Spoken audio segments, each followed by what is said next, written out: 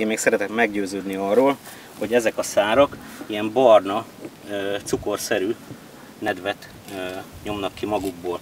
Ez arra utal, hogy megfelelően érett és édes a dinnyénk.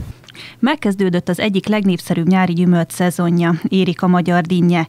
Idén úgy tűnik drágább lesz a termés. Ennek egyik oka, hogy emelkedtek a termesztés költségei, az asszály miatt pedig öntözésre is szükség van. Az asszály ellen csak öntözéssel tudunk védekezni, ugye ezt nyilván ezt csinálom, hogy öntözöm a területet, és megadok mindent a növénynek, amire szüksége van.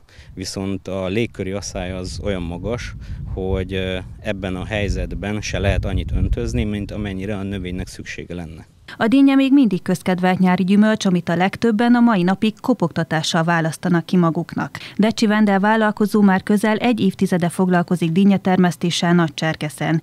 Idén július 3-án kezdte a görög dinnyeszedését, és a szezon várhatóan augusztus közepéig ki fog tartani. Ő azt mondja, a jó dinnye kiválasztásánál mindig több szempontot is figyelembe vesz dinnye szedésénél több szempontot veszek figyelembe. Az első a külső héj színe, Általában, mikor már javába szedjük, akkor ő mutatja is magát, tehát már ránézésre tudom, hogy még az éret dinnye. Ilyenkor az elején általában még nem lehet tudni, hogy biztosan jó-e, ezért több szempontot veszek figyelembe. Az első ugye a külső héjszín, aztán megpaskolom. Meg, általában, hogyha mélyen kong, vagy ilyen dübögős hangja van, akkor meg van szakadva a dinnye. A fiatal vállalkozó csak belföldi piacra értékesít, állandó vásárlói vannak, akik folyamatosan visszajárnak hozzá. Azt mondja, úgy tűnik jó az idei termés, és egyelőre a tavalyi évhez képest magasabb áron is lehet értékesíteni.